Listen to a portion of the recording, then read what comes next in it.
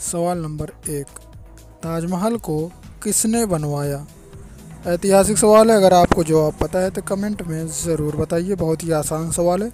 इसका जवाब हो जाएगा, शाहजहाँ ने अगला सवाल, विटामिन सी की कमी से कौन सा रोग होता है?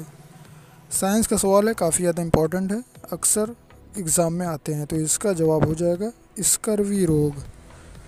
अगला सवाल सूर्य के प्रकाश में कितने रंग की किरणें निकलती हैं यह भी बहुत ही आसान सवाल है, अक्सर आपने कहीं ना कहीं ज़रूर पढ़ा होगा। अगर आपको पता है, कमेंट में बताइए, इसका जवाब हो जाएगा, सात रंग की किरणें।